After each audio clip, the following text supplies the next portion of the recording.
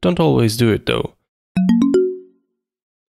When working with external APIs, having tests making real HTTP requests is a great way to ensure your application works correctly. However, having too many tests making network calls may lead to a slow test suite, and sometimes trading those real HTTP requests with a couple of fake ones makes sense. Here, for example, I throw an exception if the request fails.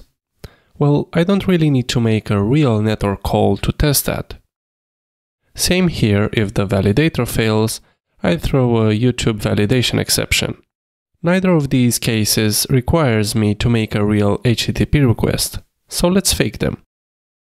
I'll go ahead and create a new test called throws exception when request fails.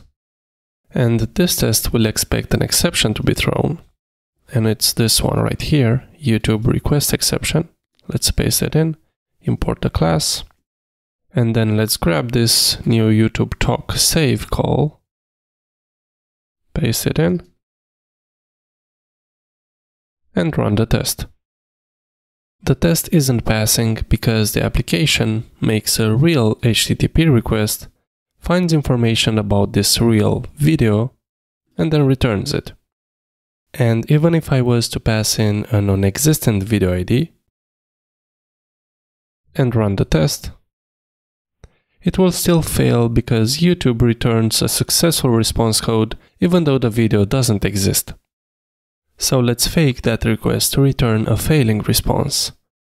We can do that by typing http and then call the fake method. Let's import the class. And this fake method takes an array as argument, where the key is the URL we're trying to call and the value is the response we want back. For the URL, we can grab this part right here, paste it in, and add a star at the end. This is a wildcard that it will take place of the query parameters. Now for the response, we can do HTTP response, and then we can give it a body, a status code, which will be failing in our case, so 500, and an array representing the headers. But we won't need them, so I'll leave that out. Now if we run the test, it passes. So it passes because the response is a failed one and it throws the YouTube request exception. If we change this back to 200, which is a successful status code, and rerun the test, it fails. So what we did here is we intercepted the call to this endpoint and returned the response we wanted. Let's do another test for the YouTube validation exception. So this one is for when the validator fails. We'll duplicate the test and let's say throws exception when YouTube response data is invalid. And instead of a YouTube request exception, we'll receive a YouTube validation exception and then here, the response needs to be successful. Otherwise, it will be caught by this check right here. And now if we run the test, it should pass. Because, well, the body is empty and we have all these validation rules. Let's instead return a valid response and see if the test still passes. So we'll do items, which will be an array, and then we'll have snippet, which will have title, description, publishedAt, and then thumbnails, which will be an array of items that should have an URL.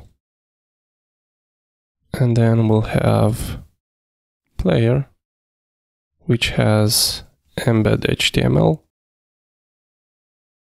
and finally, content details, which has a duration. Let's run the test and it should fail because the response is valid. or should pass the validator though.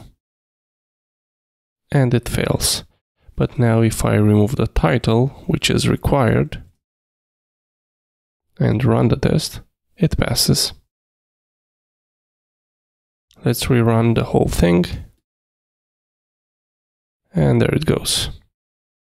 But now we only have one real HTTP request and two fake ones. And that was it. That's how you can fake HTTP requests to make your tests run faster in Laravel. Don't always do it though, only fake those that should fail in some way. If you enjoyed this video, don't forget to like it, share it, subscribe, click the bell button, all that good stuff. Bye.